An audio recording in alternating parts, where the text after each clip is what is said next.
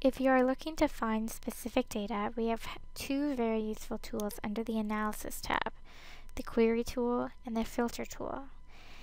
The difference between the two is that the Query tool will simply find and highlight the data that you are asking it for, whereas the Filter tool literally filters out anything that doesn't meet your criteria, so it only shows you what you're looking for. Go with the query tool. So we're going to use the all wells layer. So this is all the wells that all the layers that we have available to us in this particular map. Uh, we're going to use our current extent and leave it at all the following must be true. This drop down shows you all of the different fields in the data table that you can work with. So we're going to use the well depth field and that's in meters. We're going to build an expression that says find any well that has a depth greater than, let's do 300. So once finished, you just push the search button at the bottom. And as you can see, they have highlighted all the wells that have a depth greater than 300 meters. So it'll appear in the left panel here as a results panel. So you can scroll through your results. It'll tell you how many have been returned. There's been a total of 196 returned for us that meet that criteria.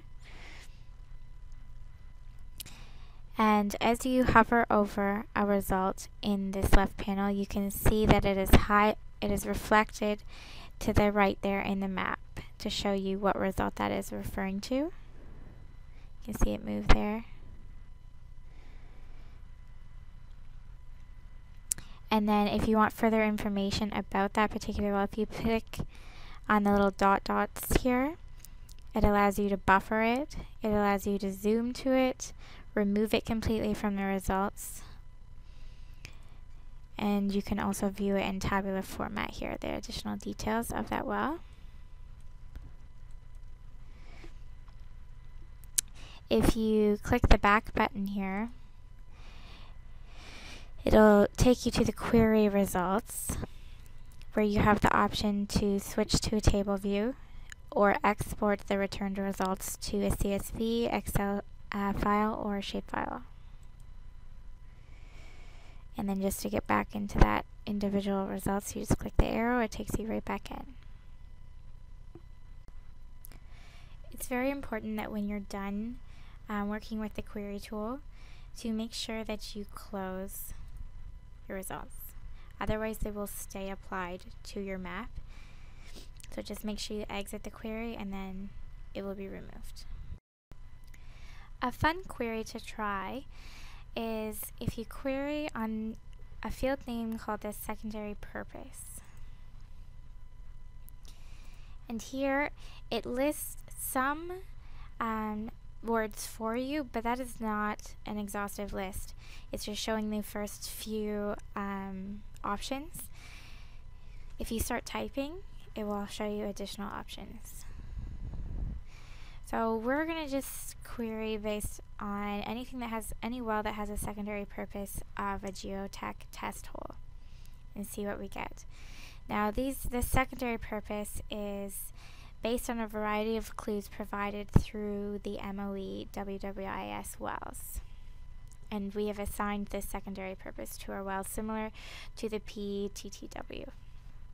So let's see what we find.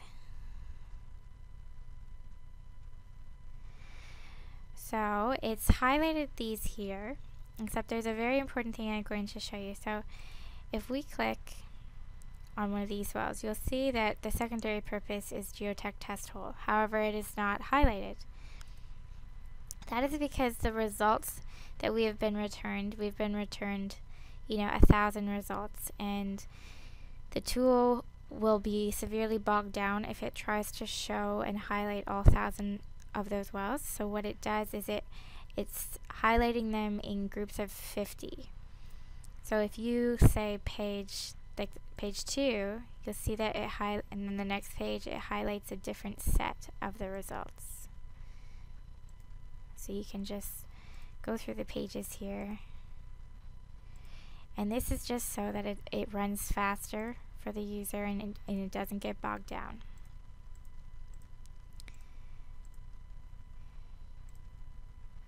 And so yeah, that query is showing you all wells that have a secondary purpose of a geotech. You can go back to your query and adjust your query if you'd like to show you something different. This is what happens if you click add condition. So this must be true and this must be true. Or you can change this to say at least one of the following must be true. You can delete a condition there if you decide to change your mind, a subclause, and again you have the ability to delete anything that you create there.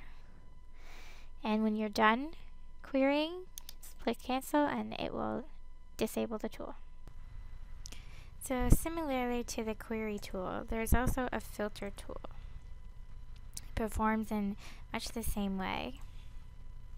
So we're going to make sure we have our all wells, all of the following must be true, and let's filter based on their secondary purpose. So let's see about these geotech test holes. So you just click filter, and when you do this, um, it will remove all the wells that do not meet our criteria. So every well that does not have a secondary purpose of a geotech test hole.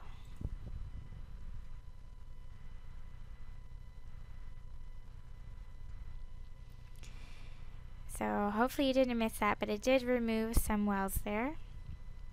And as you can see, there are a lot of them, and that's perhaps why the query tool did not, um, it's probably not your best choice.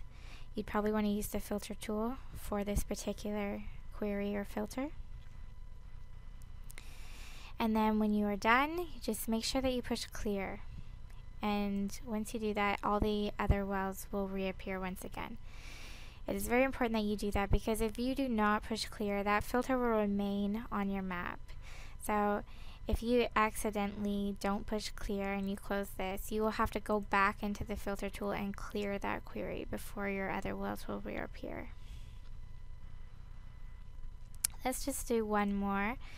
So if we, let's query secondary purpose again, maybe let's look for recharge wells. Filter.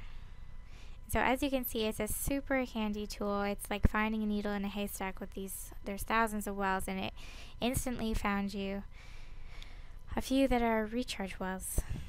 So we'll just clear that. Boom, they all come back and perfect.